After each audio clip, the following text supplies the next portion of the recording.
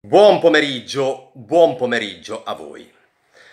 Poco più di un anno fa si riuniva, come ormai succede da molti anni a Pontida, il popolo leghista.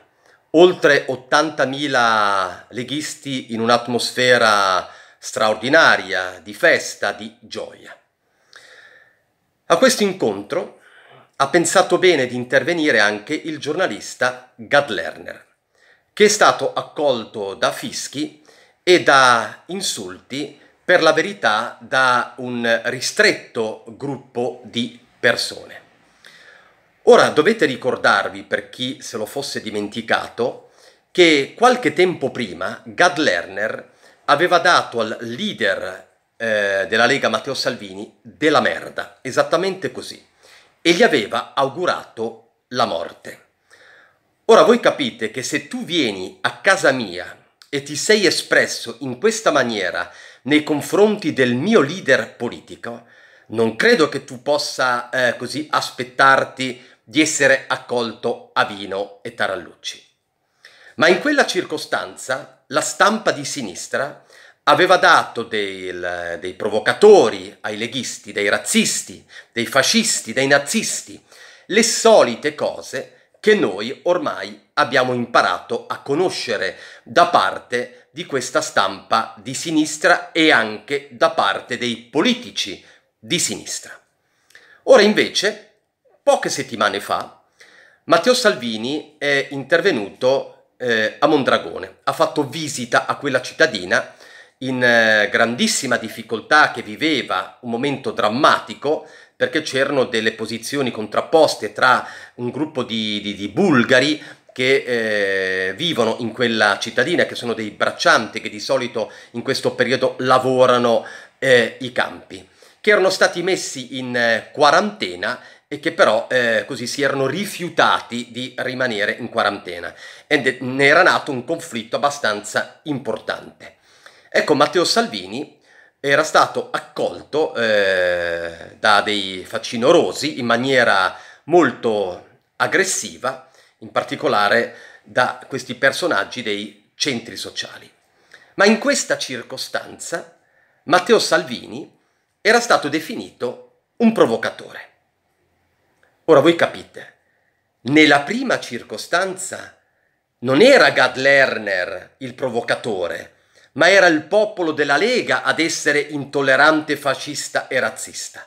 Nella seconda circostanza non, è, non sono i centri sociali ad essere intolleranti e fascisti, ma è Matteo Salvini ad essere un provocatore.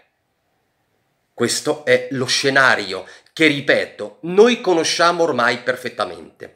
Voglio aggiungere una cosa su, su questi episodi.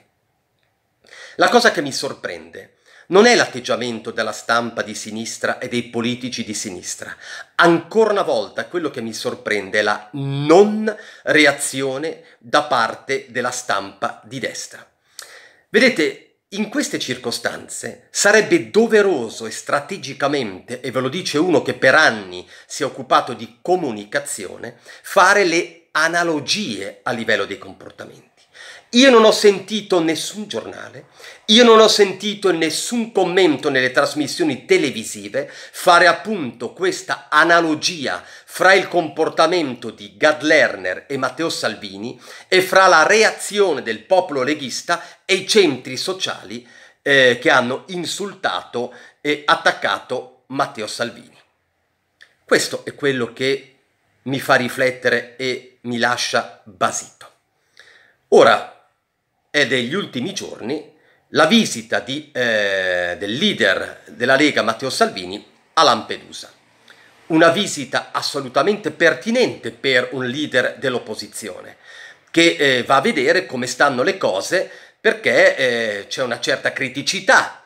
Sempre più migranti sbarcano, ma non in una situazione normale, in una situazione che sappiamo di emergenza anche sanitaria.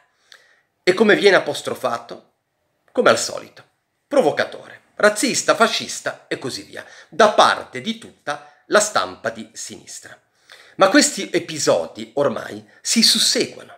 si, si susseguono ogni qualvolta che Matteo Salvini interviene, qualsiasi sia la sua riflessione, qualsiasi sia il suo intervento. Cioè, l'intolleranza, quindi, come vedete, è sicuramente da parte del popolo della sinistra e da parte della stampa di sinistra. Ora, è evidente che tutto questo viene continuamente strumentalizzata e si, e si ha più l'impressione che eh, Matteo Salvini, più che essere il leader dell'opposizione, sia il primo ministro di questo, di questo paese. Ora io credo che il popolo della Lega e in generale del centrodestra debba tantissimo a Matteo Salvini. Ricordiamoci sempre che non tantissimo tempo fa la Lega partiva dal 4% ed è arrivata fino al 34%. Solo per questi motivi credo che il popolo della Lega dovrebbe fare un monumento a Matteo Salvini. Però come in tutte le situazioni della vita, ad esempio anche nello sport, ma anche nella politica, io credo che è importante, necessario, strategicamente fondamentale capire anche il momento nel quale magari bisogna fare un passo indietro per il bene del proprio partito e per il bene della propria coalizione. E la domanda che pongo a voi, che mi faccio e pongo a voi, se non sia arrivato il momento per il bene della Lega, per il bene del centrodestra, che Matteo Salvini appunto faccia un passo indietro, che non vuol dire uscire dalla politica, non vuol dire uscire dalla Lega, tutt'altro.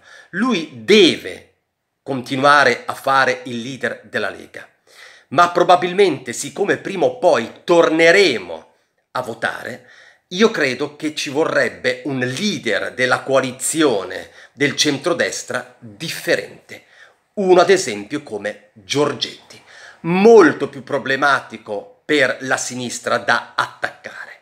Cioè non troverebbero il pretesto i giornalisti della sinistra e i politici della sinistra per attaccare un personaggio come Giorgetti.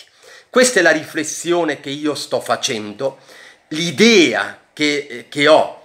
Ritengo che ci vorrebbe probabilmente un cambio di leadership, ripeto, non tanto nella Lega, ma nell'opposizione da presentare eventualmente a delle elezioni. Sarò evidentemente, come sempre, curioso di eh, leggere eh, le vostre idee e le vostre opinioni. Con questo io vi lascio, vi auguro un buon pomeriggio e ci sentiamo stasera.